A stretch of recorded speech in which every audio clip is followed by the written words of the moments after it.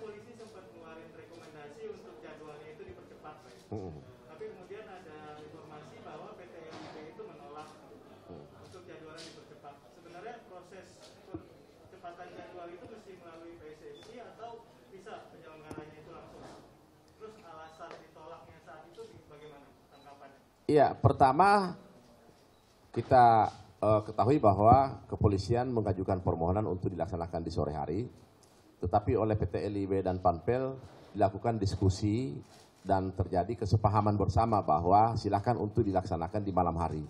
Tentu dengan ber- beberapa persyaratan, salah satunya untuk tidak menghadirkan tim, tidak menghadirkan supporter lawan atau supporter tamu ke stadionnya dan itu yang menjadi rujukan dari pihak eh, Panpel dan PT LIB untuk eh, berpositif thinking bahwa sulit untuk eh, akan ada kerusuhan di mana letak kerusuhannya ketika tidak ada rivalitas supporter dan tidak ada eh, supporter dari Persebaya yang datang ke Malang sehingga terjadi kesepahaman dan akhirnya juga dilaksanakan atas kesepahaman bersama.